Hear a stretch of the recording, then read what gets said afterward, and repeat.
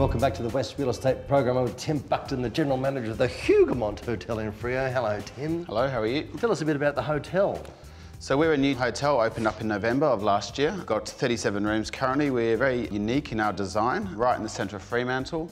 Are all the rooms a standard size or do you have variation in room sizes? We have two room types. The stateroom is twice the size of a superior cabin room, all with uh, Nespresso coffee machines and high-end amenities. In terms of rates, is it competitive? Very competitive. You know, our rates range anywhere between 140 up to 240, depending on the time of the year and the room type that you book. This particular area, Freo, is fantastic. It's getting groovier by the minute, Tim, dare yes. I say. So we're just off the Cappuccino Strip. There's a lot of businesses opening up in this area now just off the Cappuccino Strip.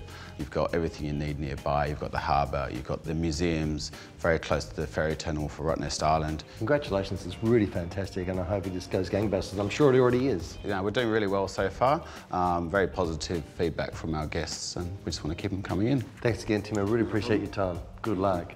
I'll be catching up with the architect of the Hougoumont Motel in just a little while, but now here's Sasha with a renovation tip.